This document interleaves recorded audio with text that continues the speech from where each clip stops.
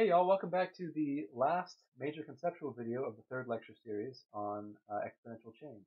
So in this video, we're going to talk a little bit about a fluid system that exemplifies exponential change.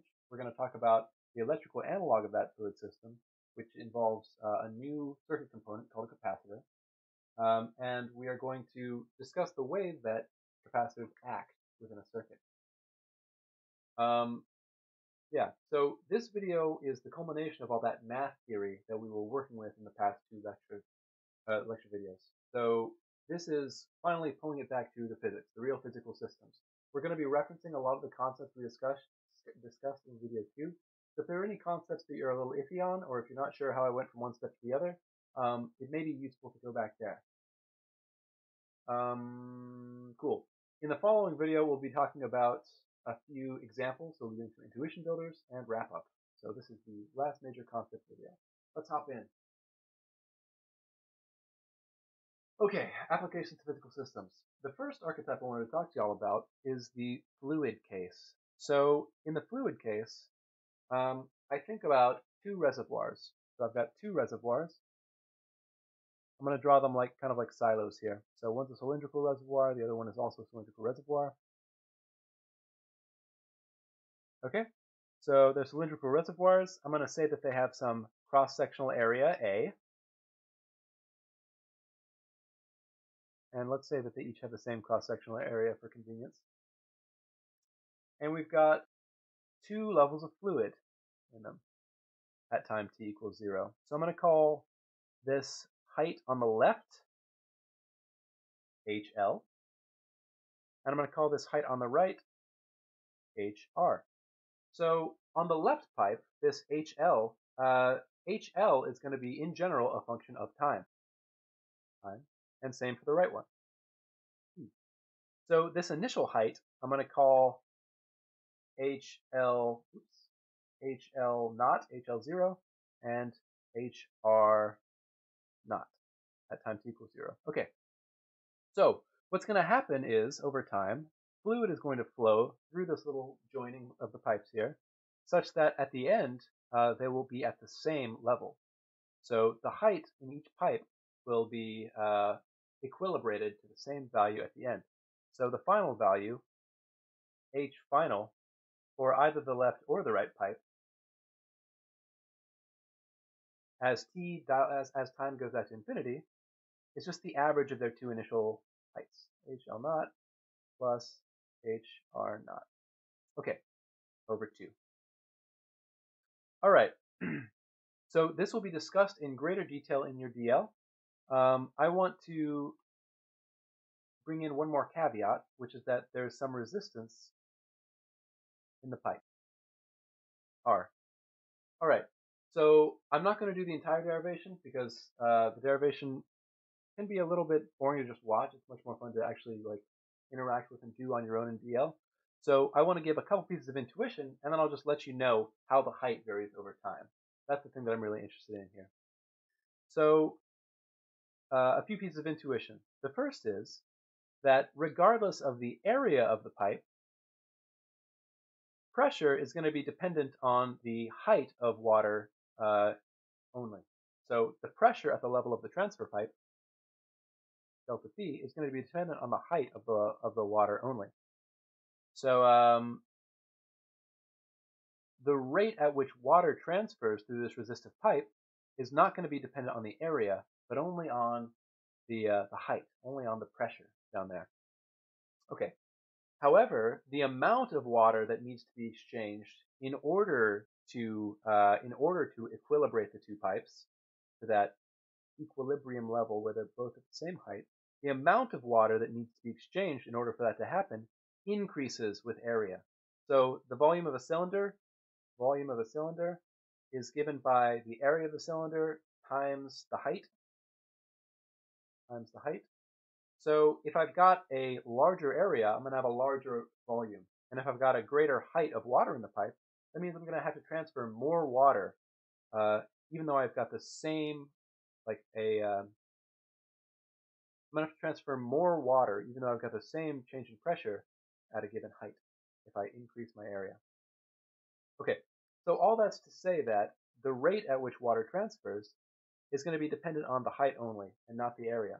However, the time it takes for all of that water to transfer, now that involves the area because uh, the, the, greater the area I have, the more um, water overall I have to shift to make the heights equal.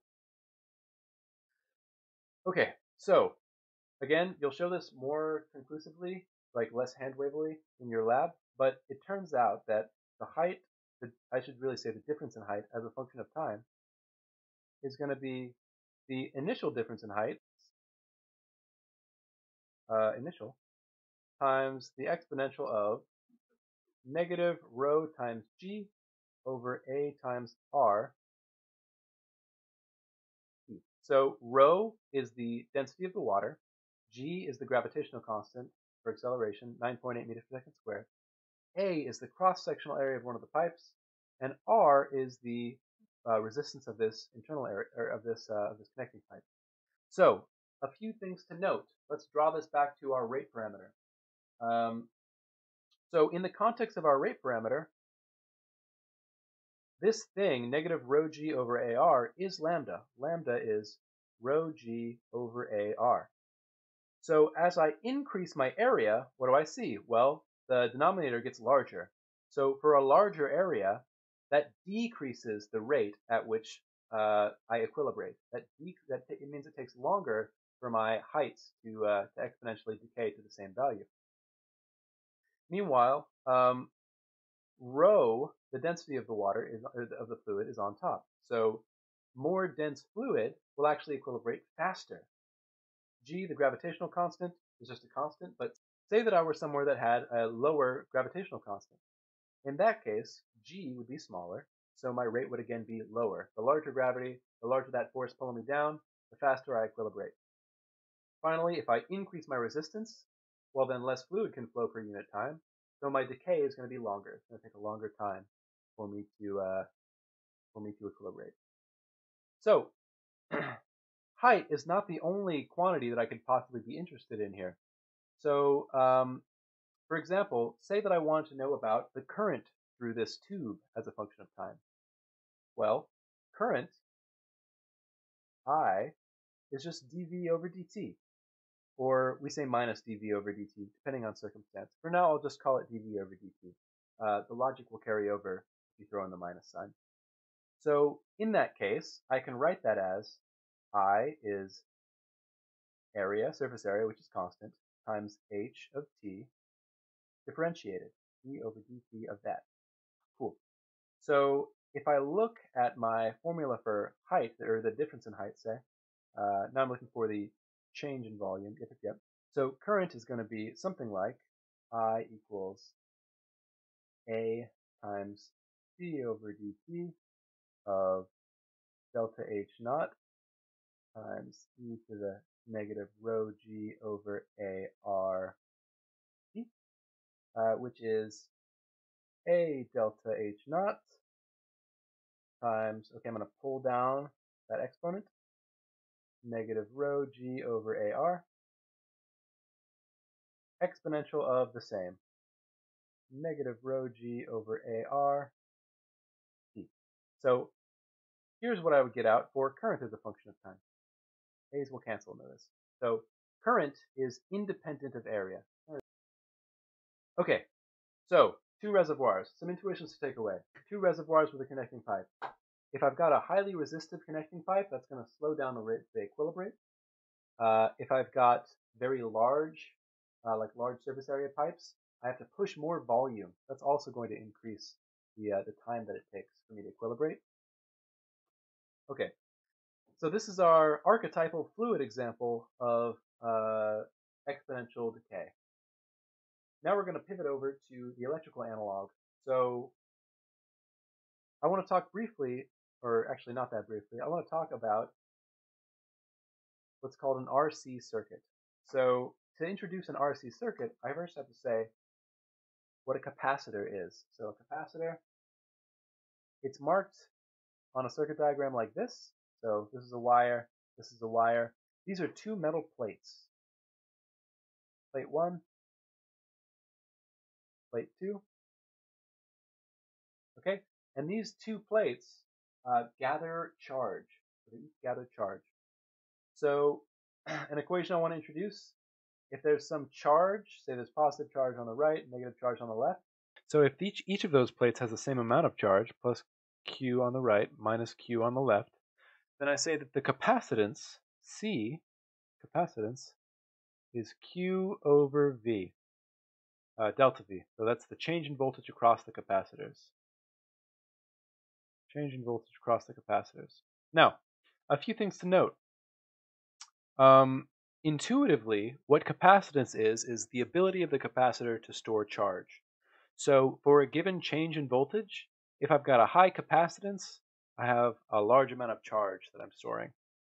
So the larger the capacitor, typically the larger my plates, but the more capacitance, the more charge storing capability the, uh, the capacitor has. So the next thing I'm going to show you is the direct physical analog of the fluid circuit we just talked about. So imagine for a minute that I've charged up a capacitor for you. So I've given you this capacitor. It's got negative charges on one side, positive charges on the other. And what I've what I've uh, asked you to do is hook it up to a resistor. So, what's going to happen? Well, the positive charges on this side of the resistor, on the right side of the resistor, are going to want to flow to, uh, they're attracted toward the negative charges on the left side of the resistor. They can't cross over this region right here. There's a gap. Uh, there's no place for them to transfer directly across this gap. They have to go around. So current is going to flow this way through the resistor. Now, uh, as it does this, it's going to, um, how do I say this well? As it does this, it's going to have to dissipate energy in that resistor. So the change in voltage across the resistor is still governed by Ohm's law. Delta V across the resistor is negative IR. So the voltage supplied by the capacitor initially, whatever that initial change in voltage across that capacitor is, that change in voltage across the resistor is going to dictate the current through the resistor. So at a particular time, if I've got some change in voltage across the resistor, a larger resistor is going to slow down that current. Okay, all right. So let me real quick um, show a differential equation that describes this circuit. So the way I'll find that differential equation, that, uh, that derivative equation, is by drawing a loop around the circuit and applying Ohm's law.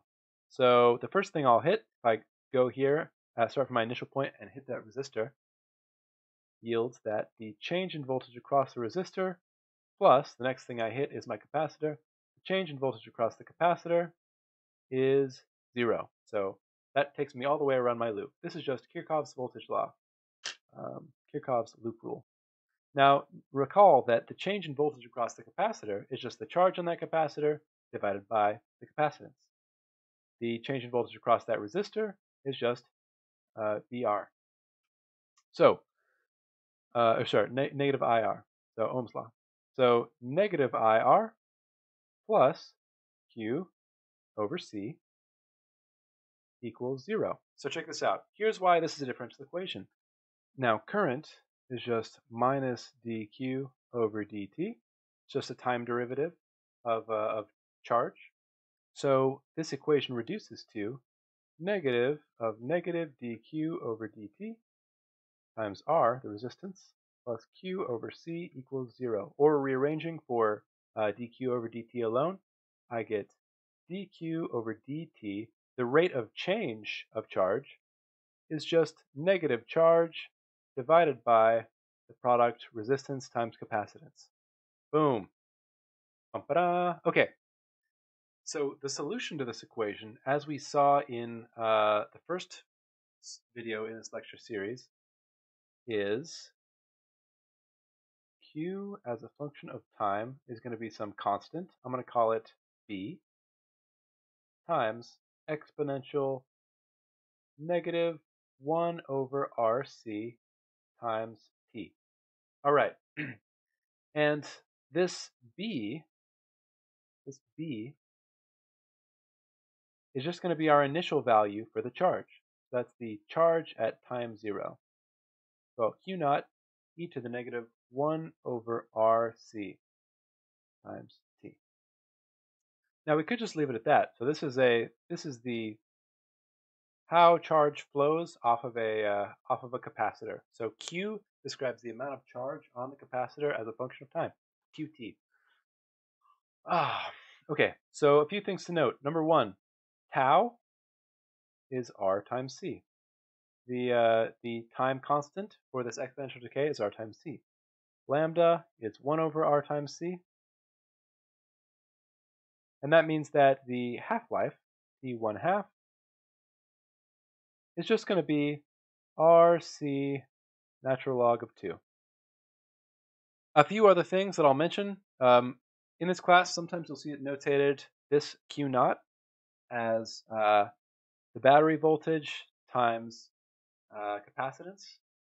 So this is just assuming that we've charged up our capacitor initially with a battery. So if I charge my capacitor directly by a battery, like this, so this is before I handed it to you, this is how I charged it. I just hooked it up to a battery, and it has some capacitance.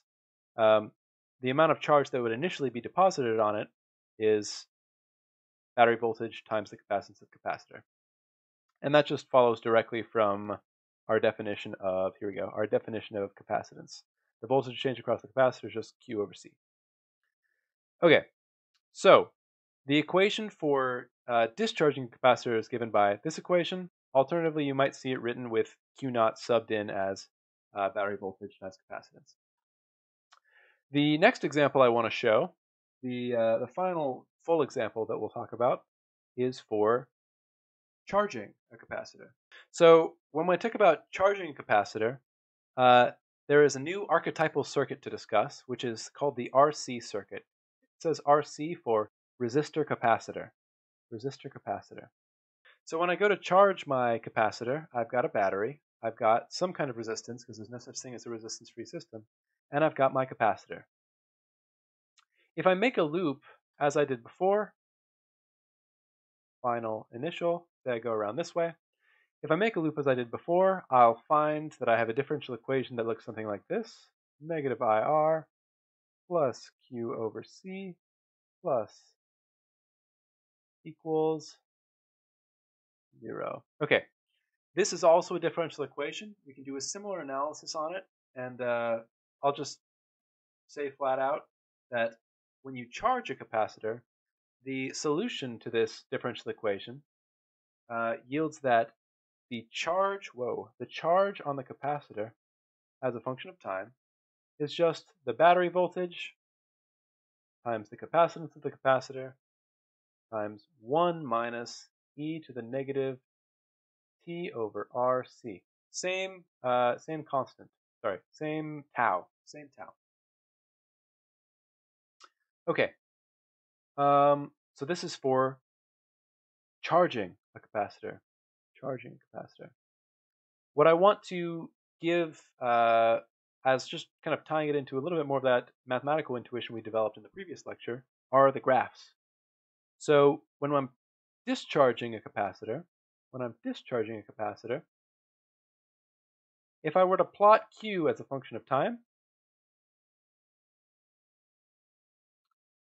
Q, the charge on the capacitor as a function of time, what I would find is it starts out at some initial value, Q naught, and decays slowly to zero. Okay, what do I notice about this? So Q is decreasing to zero. My capacitor eventually has no charge on it. I also notice that the rate at which the charge is leaving decreases over time. My slope gets less and less. That tells me that the current leaving the capacitor also decreases over time. So the way I think of it's like this. Um, initially, the capacitor is chock full of charge. The charges don't really love all being near each other like that. Like charges repel. And they're attracted to all the charges on the other side of the capacitor. So they push each other out at a faster rate. That's how I think of it. They push each other out at a faster rate. As the plates become less crowded, you get less and less charge pushing, and so uh, they push each other out at a slower and slower rate. Okay, if I were to take a derivative of uh, if I were to take a derivative of q here, i, and uh, I is negative dq over dt. I as a function of time will also be exponential. Derivatives preserve rates. Derivatives preserve rates. So this is I naught down here, the initial rate of current flow, it will also decay to zero. Starts out negative, just gets uh, decays up to zero. Okay, now when I'm charging my capacitor, when I'm charging my capacitor, the amount of charge starts at zero and then comes up to some higher value. So Q, it ends up at battery voltage times capacitance. So it ends up at this asymptote. Still an exponential decay. All right, the last thing I want to look at in this lecture video is uh, the equation for discharging a capacitor with a special eye toward the, uh, the rate parameter. So it's the battery voltage times the capacitance. That's just, this product is just my initial charge. E to the negative t over rc. Okay, so what is the rate parameter here? Well, the rate parameter is this lambda. So here, in this equation, lambda is 1 over rc. So if 1 over rc is a big number, my uh, charge is going to decay really quickly. If lambda is a small, er, if lambda is a small number, it's going to take a much longer time to decay.